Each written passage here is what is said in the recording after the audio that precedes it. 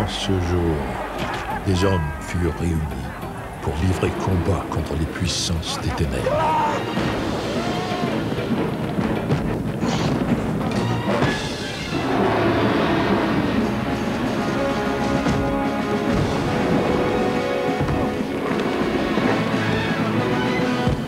Au revoir.